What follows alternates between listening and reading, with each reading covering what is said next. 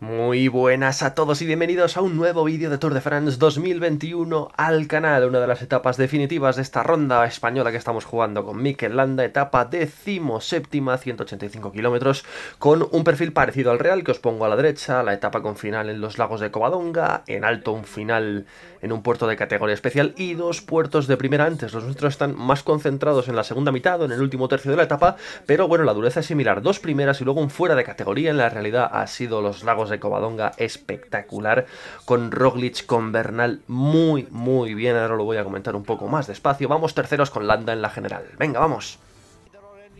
Voy a ir parando ya por aquí, estamos en el descenso, de hecho tenemos que estar empezando ya a puntito de empezar esa cota de fuera de categoría final. Por delante tenemos a Padun con un estado de forma ultra raro, eh, que hacía años que no veía, por lo menos un par de años que, no lo veía. Eh, por delante tenemos a Jesús Herrada, Chicone, Champusán, Nox y luego este grupo con Shagman, con Omar Fraile, con Omar Padun, con ese modo que, o ese estado de forma que creo que es mejor todavía que el excelente yo hacía muchísimo tiempo que no lo veía y, sinceramente no tengo claro ni los efectos que tiene. Entiendo que es algún puntito mejor que el estado de forma máximo, no sé. Pero hacía muchísimo, yo pensaba que ya, ya no estaba ese estado de forma, que sale muy poquitas veces y aquí está. Bueno, pues vamos a intentar aprovecharlo. En la etapa real, ya sabéis, victoria de Primo Roglic, Sepkus segundo, una auténtica exhibición del esloveno, también de Gambernal que ha prendido la mecha de la etapa en el penúltimo puerto y bueno, en la clasificación general ya tiene el maillot rojo casi definitivamente, diría yo, Roglic, segundo Enric Mas y tercero Miguel Ángel López. Eh, quiero detenerme un poco en qué ha pasado en la etapa, en cómo ha sucedido todo, porque es una etapa increíble, eh, muy dura y además que es el preámbulo de la etapa de mañana que es igual de dura o más, con final el Gamon y Teuro. Eh, la verdad es que ha sido una etapa donde desde el principio ha habido muchos cortes, muchos intentos de ataque, se ha ido a muchísima velocidad. Creo que he escuchado decir a Pedro Delgado que era una etapa con más de 4.000 metros de desnivel en la Vuelta a España, donde más rápido se ha ido de siempre, creo que casi 40 kilómetros por hora, una barbaridad. El otro, la anterior fue 38 y medio y era una etapa más suave. Una etapa muy, muy dura con esos dos puertos de primera eh, antes del último de los lagos de Covadonga. Y insisto, desde el principio, muchos ataques, incluso Mikel Landa, sí, ha atacado al principio, muchos nos hemos ilusionado, se ha metido en uso de, los cortecillos así pequeños que ha habido, ¿no? Y nada, al final no, no han llegado a ningún sitio, ha habido, bueno, pues alguna fuga de muchos corredores y tal. Y eh, el caso es que donde se ha desatado la carrera absolutamente ha sido en el penúltimo puerto, el segundo de primera, donde Egan Bernal faltaban, ¿cuántos eran? 50, 60 kilómetros a meta. Eh, de repente, bueno, de hecho Ineos ha, endurecido el ritmo tanto en el primer puerto de primera como en el segundo, que ya era un buen detalle que decía que algo querían hacer. Y en el segundo puerto de primera pues ha atacado a Gambernal. Se ha ido con el Roglic en un movimiento un poco raro porque tenía compañeros con él y a lo mejor si hubiera tenido un poco más de paciencia habían cerrado el hueco con Sepkus o con Umen o Bowman o tal.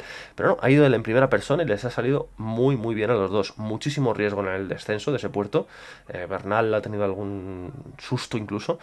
Y, la verdad es que ha sido un, súper, súper etapón. Han empezado a, a pillar tiempo, un minuto, un minuto y medio, hasta dos minutos se han ido. Y luego lo que pasa es que tenían como 30, 20, 30 kilómetros de llano por delante. Y ahí ha sido donde yo creo que Movistar se ha equivocado.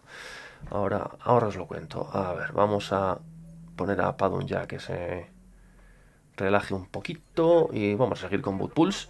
De momento estamos viendo bien. Y por cierto, no os he dicho, tengo el gel azul entero. Me ha costado muchísimo mantener el gel azul para la última ascensión. Porque en la penúltima he estado a punto de tener que tomármelo. O sea, me ha faltado nada. Vale, eh, como os decía, eh, se han ido Roglic y, Bernal en el penúltimo puerto, todavía les quedaban, pues eso, 40 kilómetros para meta, una barbaridad. Y ahí yo creo que es donde se ha equivocado Movistar, porque al principio cuando ataca Bernal y sale solo Roglic a por él, bueno, queda mucho tiempo, queda muchos kilómetros, subida final, puedo entender que no, que no salgan a por él pero donde se equivocan, creo yo, es en el llano después del penúltimo puerto, cuando hay esos 20-25 kilómetros hasta la última extensión, donde ha, tirado muy bien Bahrain McLaren, o sea, Bahrain Victorious, que ha como asumido la responsabilidad ¿no? de la persecución. Acabo de gastar el gel azul prácticamente, sí. Y lo que no he entendido es por qué no le han dado ni un solo relevo. Que yo entiendo que ni Miguel Ángel López ni Enric Mas son grandes rodadores para el llano y tal, pero hombre, algún relevito pues les hubiera venido bien creo yo, para bajar un poquito la diferencia de Roglic y de Bernal. De hecho, es que ha tenido suerte Movistar, ha tenido mucha suerte, que Roglic en los lagos de Covadonga ha conseguido mm, desenganchar y dejar tirado a Egan Bernal. Porque si llegan a, llegar los dos arriba, probablemente no estaríamos hablando de que Movistar tiene el segundo y tercer puesto del cajón ahora mismo del podium. Si Egan Bernal llega a estar un poquito mejor, eh, iba muy machacado, evidentemente, podía haber salido bastante mal a Movistar eh, esa estrategia conservadora, pero al final, como Roglic ha ido en solitario, Egan Bernal, bueno, ya no daba para más, le ha acabado pillando el grupo perseguidor. Vamos a... Se me había quitado la protección de Pulse. No sé por qué. Bueno, pues total, que eso, que eh, como Egan Bernal, bueno, pues se ha desenganchado de Roglic, ya estaba bastante eh, cansado. De hecho, hay que aplaudir a Egan Bernal porque ha sido el que ha dinamitado todo. No tenía nada que perder y, ha atacado de lejísimos. Y, bueno, estaba a punto de poner patas arriba a la vuelta. Insisto, luego, como, como se ha ido solo Roglic, luego el grupo perseguidor de Enric Mas, Superman López, los Bahrein Victorious, lo han pillado y han entrado todos juntos. Han entrado todos a un minuto y medio de Roglic, me parece que ha sido, ¿no? O sea que Movistar haciéndolo mal, muy conservador en ese llano previo a la subida final, eh, al final le ha salido bien. Es verdad que, ha atacado, por ejemplo, Miguel Ángel López en los lagos de Covadonga. No ha salido bien el ataque, pero bueno, ha intentado. Eh, Enric Mas ha tenido algún amago también de, intentar eh, salir, hacer algún pequeño ataque. Se han como turnado, ¿no? Pero bueno, pues no se ha conseguido ir nadie. Estaba por detrás Sepkus también, que al final ha entrado segundo. Y el caso es que, bueno, pues esa estrategia conservadora les ha salido bien, pero creo que de milagro, porque si Egan Bernal llega a aguantarle el ritmo a Roglic en la última ascensión, podrían haber perdido esos segundo y tercer puesto que tienen ahora mismo más y López. Así que, bueno, una etapa con muchas cosas, una etapa muy bonita y que gracias a, sobre todo a, Bernal y a Roglic, la vamos a recordar durante mucho tiempo, creo yo. Increíble los lagos de Covadonga, con dos puertos muy duros antes, una etapa muy, muy exigente, preámbulo de la de mañana.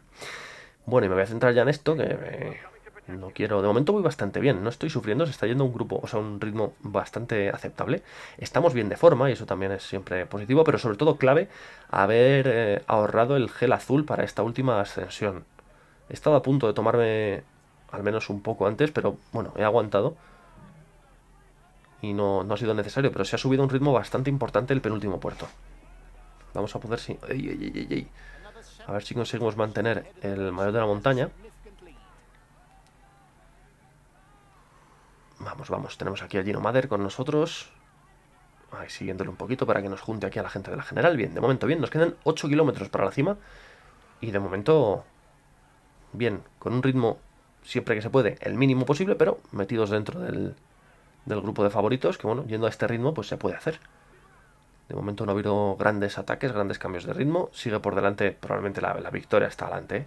Champusan, Chicone, porque nos sacan 4 minutos y medio que ya no les vamos a recuperar. Pero ahora sobre todo muy atentos a Egan Bernal, que es nuestro rival para el segundo puesto del podio. ¿eh? Parece que empiezan a acelerar, he bajado mucho ahí el esfuerzo y empiezan a desatarse las hostilidades, parece ya cuando faltan 7 kilómetros para el final. Estamos encarando la segunda mitad casi ya del puerto. Ahí pasa Roglic como un cohete. Vamos aquí tirando con Gino Mader. Hmm, Pulse nos ha quedado. Bueno, por delante tenemos a Caruso y a Hake todavía. Vamos a exprimir ya un poquito a Gino Mader. Nos volvemos a meter en el grupo. Y quedan 6 kilómetros y medio. Bueno, voy. Creo que voy bastante bien. Aquí está Gambernal que iba más atrás. Vamos, vamos a ver. A ver, no me frenéis, que estoy viendo que me vais a frenar. Está Valverde, está Roglic a la derecha. Rampas muy exigentes en este col de Portet. Que nos hace las veces de Lagos de Covadonga. Increíble cima asturiana. cómo se come y cómo se bebe por allí. Madre mía. Vale, vamos a poner a Caruso ahora. Hike se ha ido. Bueno, se ha ido. Están aquí adelante. Ahora mismo acaba de producirse un corte. No me frenes, madre. Vale, vamos aumentando el ritmo, ¿eh? Dentro de lo que cabe, como quedan 5 kilómetros, voy a intentar que no se me vayan. Porque voy bien de, de fuerzas. Estamos ya aquí metidos otra vez en el grupo de Roglic. Bien. Intentando escalar alguna posición. Ay, no, no, no, no, pues estaba por delante. Pensaba yo, pero si me, había dado la impresión de que me había metido en el grupo de Roglic. No, no, no, son estos delante. Vale, vale, vamos a ir dando, dando zapatilla, ¿eh? Vamos aumentado un poquito el ritmo y se me ha quedado atrás Caruso. Pues no sé, me he confundido al mirar el, el menú de la izquierda o, se ha producido ahora mismo el corte, el, acelerón. He pensado durante un momento que, había recuperado el, sitio, pero resulta que no. Bueno, ya de todas maneras quedan menos de 5 kilómetros, o sea que ya que tenemos que ir... Vale, Hey está para el desguace y creo que no queda nadie por arriba. Tenemos que hacer esta parte de la ascensión solos. Bueno, el grupo está aquí, o sea, está aquí mismo.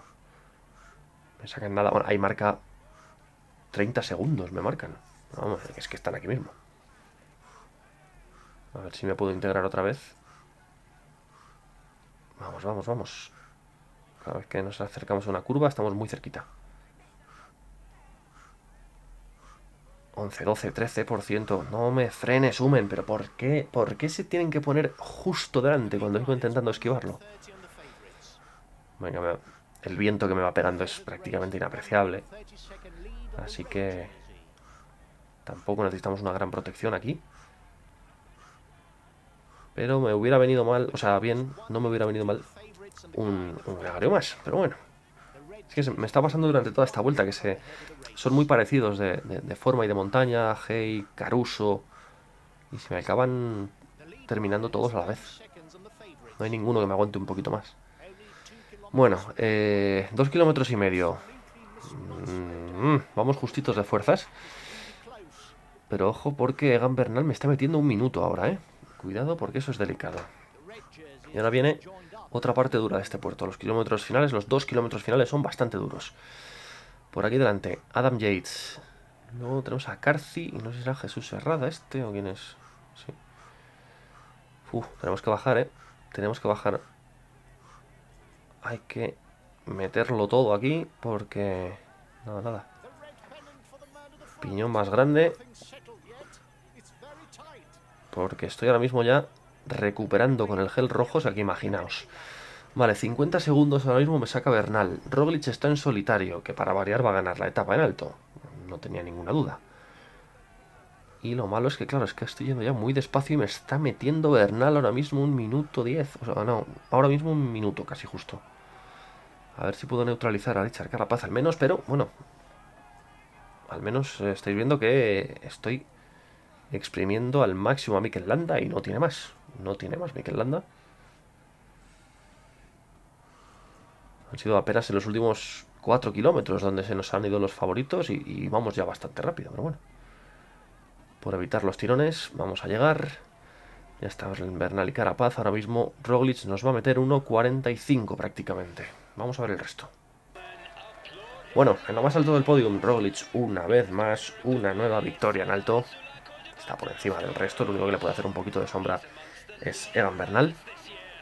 Evidentemente, mantiene su maillot rojo el esloveno en nuestra vuelta, al igual lo ha adquirido hoy en la vuelta real, en esa etapa con final en los lagos de Covadonga, que por cierto estoy deseando leer vuestros análisis de la etapa en los comentarios de este vídeo. ¿eh? Es una etapa que ha tenido muchos detalles importantes. Algunos seguro que se me ha olvidado antes, porque estaba pendiente también de la carrera nuestra. Pero bueno. Oye, ¿mantenemos el maillot de la montaña? Pues no las tenía yo todas conmigo, ¿eh? Bueno, hemos puntuado algo. Hemos entrado cuartos, me parece, ¿no? En el último puerto sin bonificaciones, eso sí. Pero bueno, y Bernal, mayor blanco, claro. A ver los tiempos. Roglic, Bernal, Carapaz. Nosotros cuartos. Y era además bonificación doble, es verdad, en el alto. O sea que nos ha metido... Uf, eh, nos ha metido 1.44 Roglic. Nos ha metido un minuto y medio con la bonificación. Egan Bernal es un palo muy importante el que acaba de meter Bernal aquí por el segundo puesto va a ser muy, muy difícil recuperar el segundo puesto del cajón, yo creo, ¿eh? Pero bueno, mm, lo normal es que tanto Roglic como Bernal como Carapaz, por stats, queden por delante de nosotros en la montaña. Pues es lo normal, pero bueno. Madre mía, qué tiempos. 3.38 le mete a Bernal, 5, casi 6 minutos a nosotros. O sea, nosotros, Bernal a nosotros nos mete 2 minutos y medio. Muy, muy complicado recuperar el segundo puesto, pero vamos a seguir peleándolo. Y nosotros estamos a 5 minutos de Richard Carapaz. Espero que sean suficientes. Un punto le sacamos solo a Roglic en la montaña. Qué difícil va a ser mantener el maillot de lunares azules, amigos. Qué difícil va a ser. Bueno, repasamos el resto de clasificaciones. Jóvenes, equipos también. Combatividad con Marpadun y ese estado de forma ultra raro. Ya tiene en el bolsillo esa clasificación. Si os ha gustado la etapa, machacad el botón me gusta y suscribiros al canal. Hasta la próxima. Pasadlo bien.